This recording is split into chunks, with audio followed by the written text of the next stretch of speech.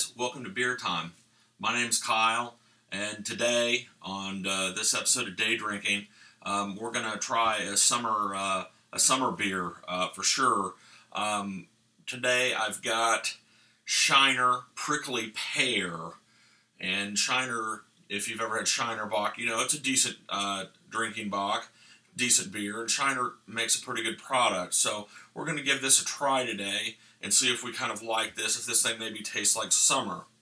Um, I'm going to pour just a little bit of this into the glass, and I'm not going to pour it all in. I'll tell you why in a minute. So let's take a look at this.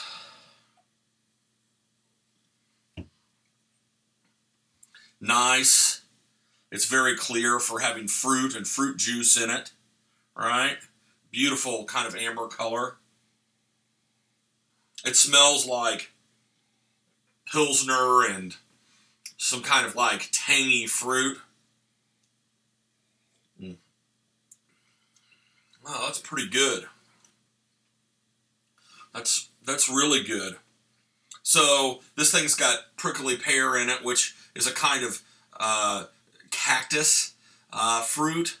Um, it smells a little bit like blueberries and raspberries, to be honest.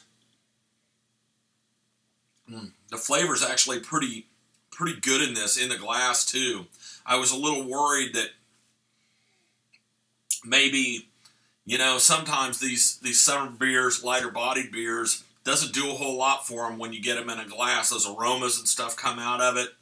You know, to be honest, something like uh, a domestic, like maybe Budweiser, Bud Light, you know, putting it in a snifter like this, getting your nose in there, you know, it just doesn't do a whole lot for you. So the reason why I left some of this in the bottle was sometimes I think it's not a bad idea to drink a beer from a bottle. And experts will tell you that that's just hooey, but you know, being a traditional guy that likes to crack crack open a a cold bottle of beer, uh, some suds, if you will, and uh, drink straight from the bottle. Um, you know, I I'm I'm kind of non-traditional in that way. I actually like to drink it from a bottle from time to time. Um, and a beer like this, let's just keep drinking. It tastes similar, to be honest. Um, it's still got that kind of a fruity, uh, kind of blueberry with just a, a, tinge of raspberry to it. Um, it's got a mouthfeel like like an unfiltered wheat beer, although it's obviously not. I mean, it, I thought this thing would be just like full of stuff, but it's it's relatively clear, good looking beer, really.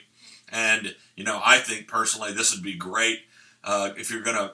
Would I buy this for a for a party or something? Yeah, I, would definitely throw this in the cooler. There're going to be some people that like this, and in the summer, this could be pretty refreshing. It's not overly sweet. I mean, it's most certainly a fruit beer, but not um, not cloyingly sweet.